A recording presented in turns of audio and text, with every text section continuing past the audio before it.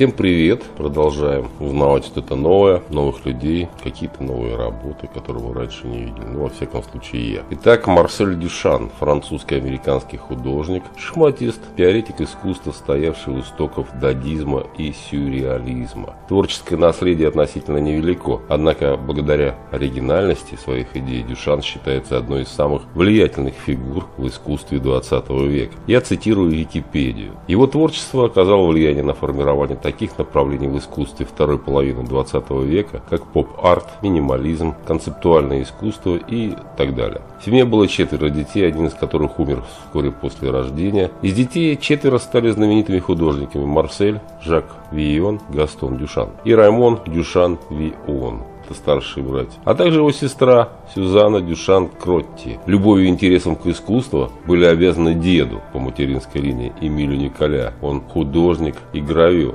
Отец дал детям свободу в вопросе выбора профессии, не настаивая на продолжении своего дела. Дюшан учился в лицее с 10 до 17 лет в Руане. Не был выдающимся учеником, но хорошо успевал по математике, несколько раз выиграл математические школьные конкурсы. В 1903 году он выиграл конкурс художественных работ. Серьезно начал увлекаться рисованием в 14 лет. Первые живописные работы Дюшана в духе импрессионизма, рисунки относятся к 1902 году. Приехал в Париж, поселился на Монмартре, пытался учиться в Академии Жулиана, но бросил занятия. В 1909 году его работы попадают на осенний салон и на них отвлекает в своем обзоре Гийом Аполлинер. Хорошо играет в шахматы. Звание мастера получил по итогам третьего чемпионата Франции в 1900 1925 году. Выступал за французскую команду на международных шахматных олимпиадах. Участвовал в турнирах по переписке, был шахматным журналистом. Юшан знакомится с кубизмом, присоединяется к группе Депюто, в которой участвуют такие художники, как Глёс,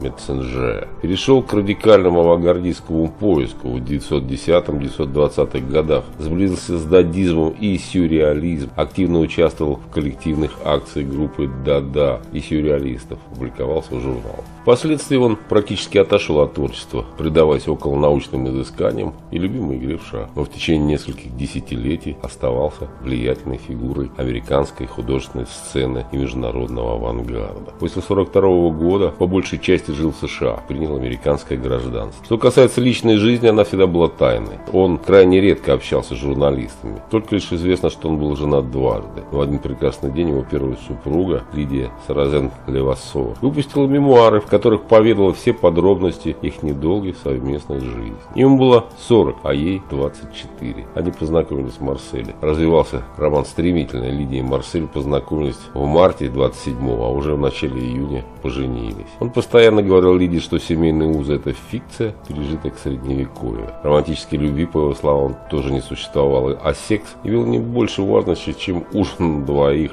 Юшан заявлял, что был бы совсем не против, если бы она завела себе любовника. Брак продлился всего лишь полгода. Вторая супруга Дюшана Алексина Сатлер. Известно лишь, что первым мужем был арт-дилер Пьер Матис, младший сын художника Андрей Матис. Они поженились в 54-м и были вместе до самой смерти художника. Дюшан снял экспериментальный фильм «Анимик Синема». Ему посвящен короткометражный игровой фильм Паула Марино «Бланка». В 2000 году во Франции учреждена премия Марселя Дюшана, молодым художником. Умер 2 октября 68 года в возрасте возрасте 81 года во Франции. Вот так вкратце о французском американском художнике, шахматисте, теоретике искусства, стоявшего у истоков дадизма и сюрреализма Марселе Дюшане. Пока-пока, до свидания.